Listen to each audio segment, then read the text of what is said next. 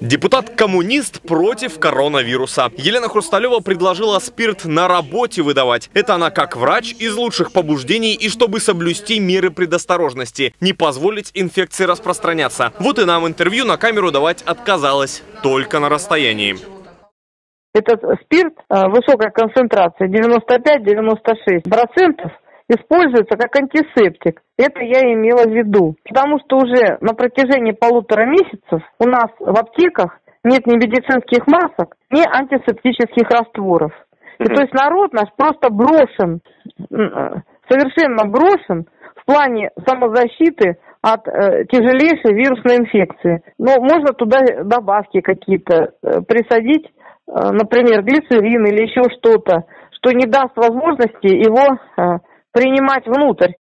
Сейчас такая мера, возможно, и правда будет полезной. При вирусе говорят, не касайтесь руками лица. Но поскольку это чаще всего почти невозможно, руки лучше дезинфицировать. Вирус распространяется воздушно-капельным путем, это значит капельки вируса остаются здесь. Вот я сейчас пойду в аптеку для опроса, открою дверь, и после этого нужно будет руки протереть по-хорошему. Скажите, сейчас антисептики, правда, остались какие-то в продаже? Без комментариев. А это и есть комментарий. Аптеки без масок и без антисептиков. А предлагала депутат Хрусталева раздавать тем, кто неизбежно много контактирует с людьми. Врачам, продавцам, кондукторам. На таком безрыбье активизировались блогеры, у которых свои рецепты есть. Что-то надо добавить в качестве увлажнителя рук. Также отдушка, чтобы не так сильно, не дико разило спиртом. Значит, в качестве спирта у нас может выступать этанол, этиловый спирт, самогон, по сути, изопропиловый спирт, N-пропанол и повидон йод. Да что там блогеры, уже Всемирная организация здравоохранения публикует свои рецепты изготовления антисептиков для себя и даже для производства малыми партиями. На Руси это традиционно называли самогоноварением. Тем не менее, вопреки поверьям, в период повышенного риска заражения нельзя употреблять обеззараживающие вещества вовнутрь.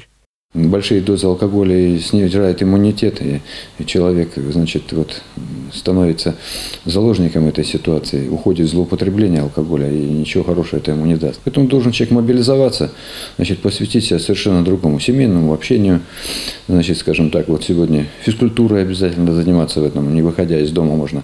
Физкультура как раз иммунитет поддерживает. Лучше заниматься ею, чтобы во время всеобщего отдыха не прибавить работы еще и наркологам. А чтобы не распространять заразу, лучше из дома по возможности не выходить. Разве что за антисептиком к знакомому химику. Андрей Дриер, Илья Халяпин. День с толком.